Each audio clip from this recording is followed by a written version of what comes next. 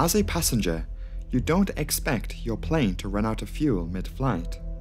It sounds like a horrifying scenario, especially when that plane is out over water, just out of reach of an airport.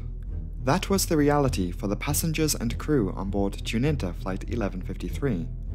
The answer as to why this modern passenger plane ran out of fuel lays in a rather unbelievable set of circumstances. That is what we're going to explore today. Let's look at the plane, how it was maintained, and how that relates to the accident flight.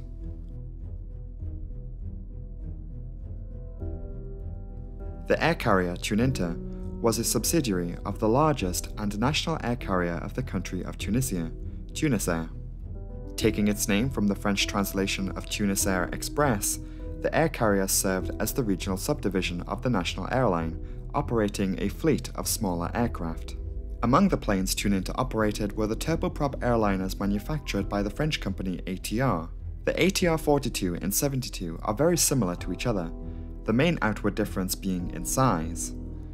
The planes, especially the ATR 72, have been extremely popular with around 1,500 in total built between the two. The accident of discussion today involved the larger ATR 72. Tuninter Flight 1153 was the route between Bari in southern Italy and the Tunisian tourist hotspot of Djerba. On August 6, 2005, the ATR 72 registered as Tango Sierra Lima Bravo Bravo landed in Bari uneventfully. The plane had been making hops over the Mediterranean recently over the past number of days. The captain had also flown the plane the previous day on August 5th. 45 year old Captain Shafiq Al Garbi was regarded as a highly proficient pilot. With over 7,000 hours to his name, he had spent most of that time in the cockpit of the ATR planes, effectively becoming a master of the type. The first officer was much younger at 28 years old. Ali Kabir al Aswad had around 2,500 hours logged. Like his captain, he too had spent most of his flying career up to that point flying the ATRs. The two pilots that morning on August 6th had flown the accident plane to Bari on a flight from Tunis, but heading back out to Djerba. 35 passengers had boarded Flight 1153. Most of them were Italian tourists. In total, accounting for the passengers, pilots, and other flight crew members, there were 39 total occupants on board the ATR 72 that day. Among those other flight crew members was a Tuninter engineer. He was officially off duty flying as a passenger. At around 2:30 in the afternoon, flight 1153 left Bari heading southwest. Once flying across the boot of Italy, the plane would be flown over a subdivision of the Mediterranean Sea known as the Tyrrhenian Sea. This first section of the flight, as the plane climbed up to its cruising altitude of 23,000 feet, went off without any issues. But let us take a step back for a moment and take a closer look at the previous evening before the accident flight.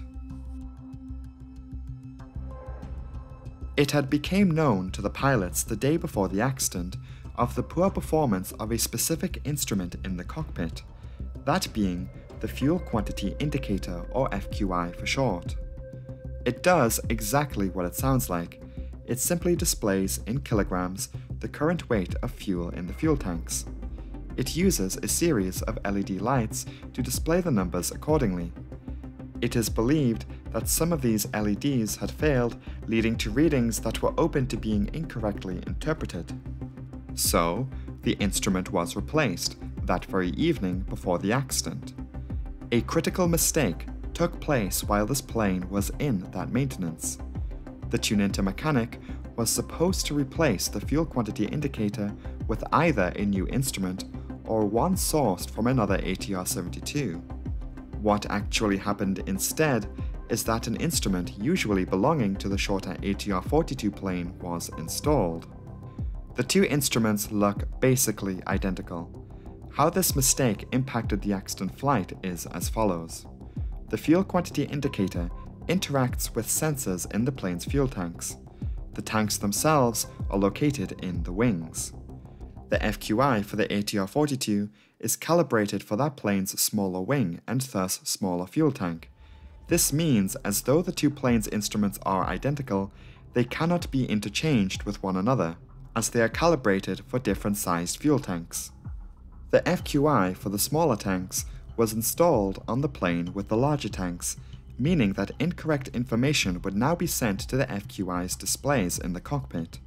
The pilots would be none the wiser to this discrepancy, unless they paid very close attention to the small numbering on the FQI itself, which may have been the only clue to the pilots that the wrong instrument was installed. But that is not all.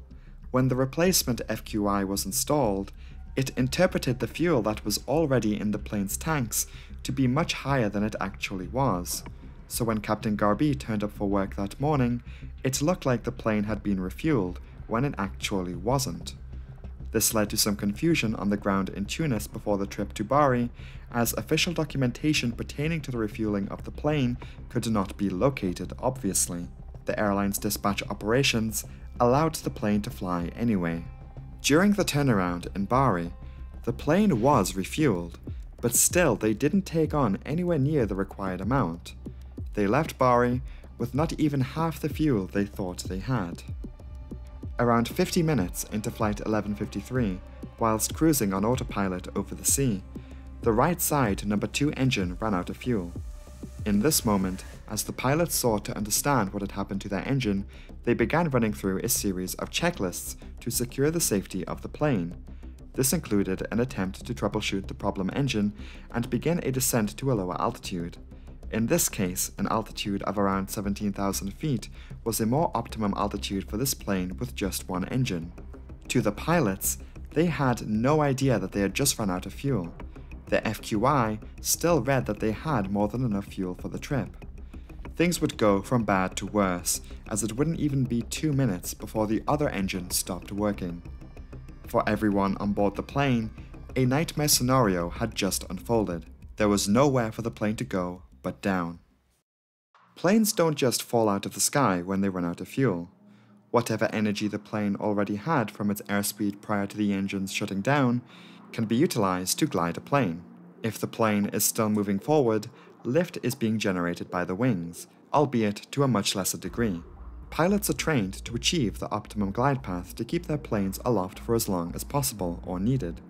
With no fuel, a plane would weigh lighter than usual and could potentially glide for well over 100 kilometers.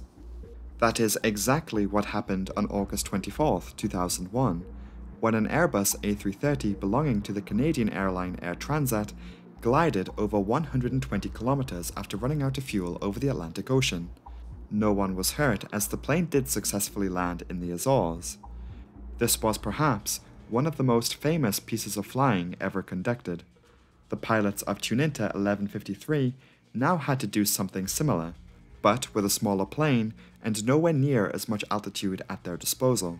They immediately sought out the most appropriate airport, which in this case was the airport at Palermo in Sicily, around 75 miles south of their current position.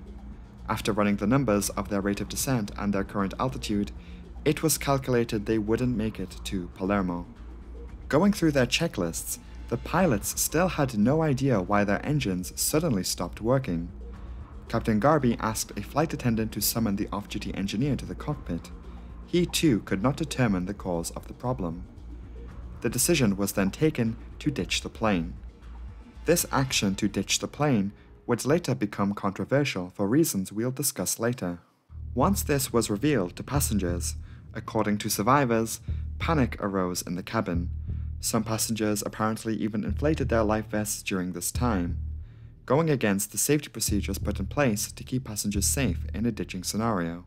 There are multiple reasons as to why passengers are told not to activate flotation devices before leaving the plane. One reason is because it will inhibit movement of the passenger. An inflated life vest on a passenger takes up more space and make it harder for them to navigate the cabin in an escape. Another primary reason is perhaps a bit more scary.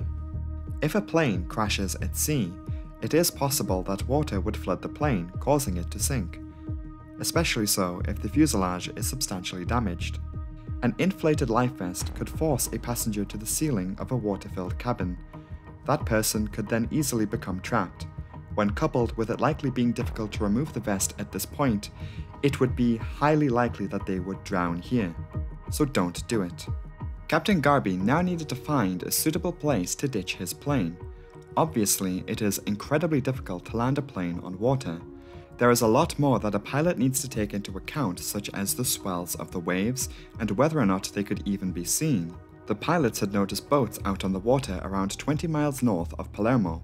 They went about trying to put the plane down nearby as to be seen, increasing the possibility of an early rescue response. Air traffic control in Palermo also notified the local Coast Guard.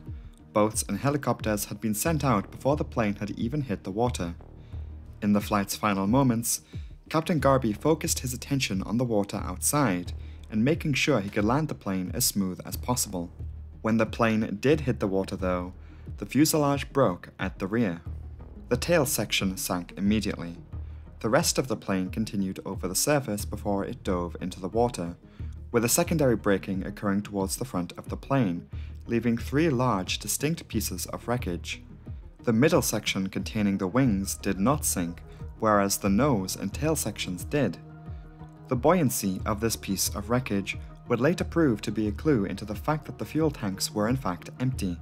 Despite the pilots' efforts to land near the boats, they didn't see them crash into the water.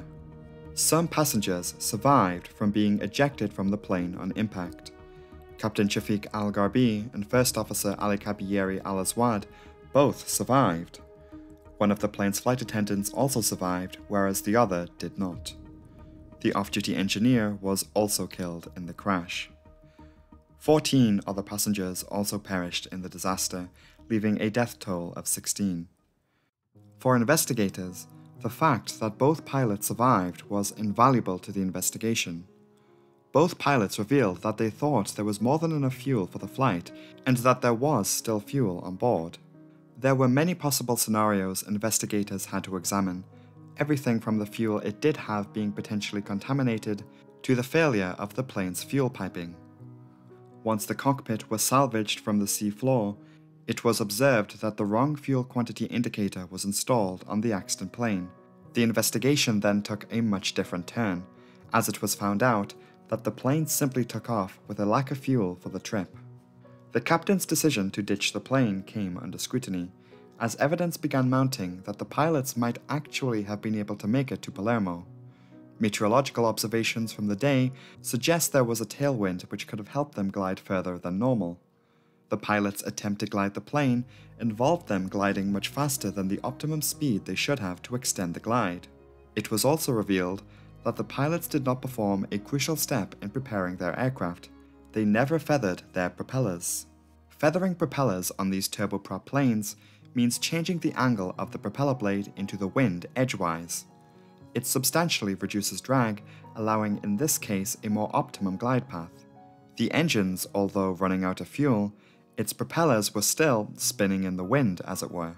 The unfeathered propellers acted as a somewhat flat surface, creating a large amount of drag impeding the plane's performance. When taking into account all of these variables, and with reconstructed simulator analysis from other ATR 72 pilots, some believed that actually the pilots of Flight 1153 could have made it to safety. This is all talking from hindsight, however, the pilots may have chosen not to feather the propellers as they didn't think they were out of fuel, and so instead of gliding, wanted to try and restart the engines, a procedure which, according to their checklists and training, did not include feathering their propellers. In the aftermath, the investigation mandated that all ATR 42 and 72 planes are to be checked to see if they are flying with the correct FQI, and the necessary information was handed over to the operators across the world. Italian courts brought multiple criminal charges forward against staff at Tuninter, including the mechanic who replaced the plane's FQI. Both pilots were also charged and sentenced to prison, eight years to the first officer and 10 for Captain Garbi. These sentences were reduced in 2012. The ATR continues to be one of the most popular regional planes in the world. Its latest variants include an updated flight deck. Airlines across the world continue to place orders for the plane to this day.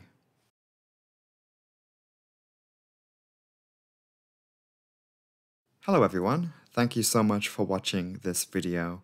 If you found it to be interesting, be sure to be subscribed as there is always a new video every Saturday. And have I got a video for you coming next week? I stumbled across a plane crash in my research that has a few words written about it on the entire internet. Literally all internet sources copy and pasted the same three sentences from its Wikipedia article. It required another deeper level of digging, newspapers from the time, and all that kind of stuff. So that will be out next week, and I can't wait to share it with you. Subscribe so you don't miss out on it. Anyway, a big thanks once again to my patrons for the amazing ongoing support to the channel. Their names are scrolling on the screen right now. If you want to support the channel further yourself, you can join the Disaster Breakdown Patreon from just £1 per month, and the link to that will be in the pinned comment below. All patrons get early access to all new content two days before it goes out publicly on YouTube. Shout out this week to a new patron, I Found Your Cheetos. Incredible name. With all that said, I think I will end the video here. Thank you all so much for watching, have a good weekend, and I will see you next week. Goodbye.